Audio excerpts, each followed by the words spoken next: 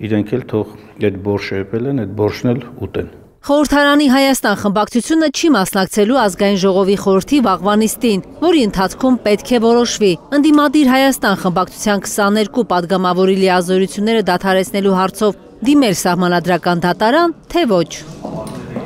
Երբ որ լրանում է ժամկետը եւ և բացակաների քանակը գալիս է հասնում է անցնում է թույլատրելի չափը, այդ հարցը հայտնվում է խորհրդի նիստի օրակարգում։ Խորհրդարանի նախագահը վստահեցնում է, քաղաքական մեծամասնությունը մանդատներից զրկելու հարցը չի օգտագործում ընդդիմությանը ճնշելու համար։ ԿՊ-ում դեռ հստակ որոշում չունեն, կողմ թե դեմ են արտահայտվելու սահմանադրական դատարան դիմելու հարցին կարող է ինչ որ կոնկրետ падգամավորների վերաբերյալ լինի տենց որոշում, կարող է ընդհանրապես չլինի, ասենք, հաշվի առնելով, որ իրենք վերադարձել են եւ շարունակում են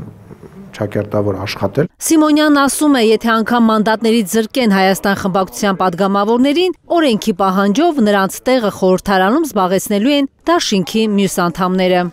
Մեր համար ինչ տարբերություն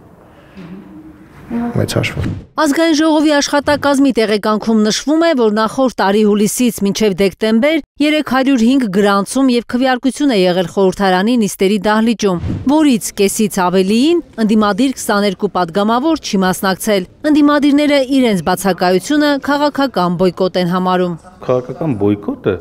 դա քաղաքական գործունեության դրսևորման ձև է եւ այն չի կարող պատճառ հանդիսանալ անձին